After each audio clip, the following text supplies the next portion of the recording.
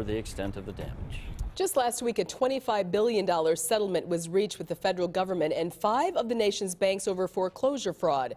Wisconsin will be getting a portion of that money. Although Governor Walker says most of that money will go to help homeowners in need, some say they're not happy with how it is being spent. Fox 6's Laura Langamo explains.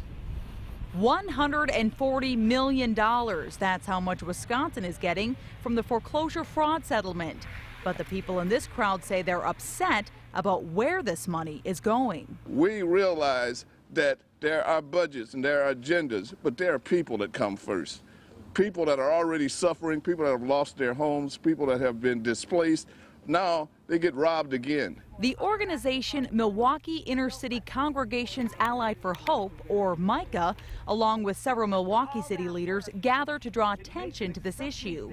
They disagree with Governor Scott Walker's plans to use about $26 million from this settlement to fill gaps in the budget.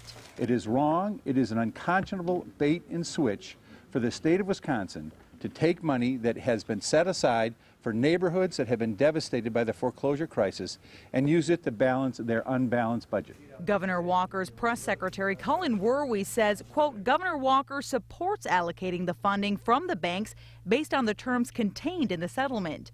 The vast majority of funding from the banks will go to Wisconsin homeowners, end quote. In Milwaukee, Laura Langamo, Fox 6 News. A local author celebrates Black History Month with an important lesson to students, hopefully one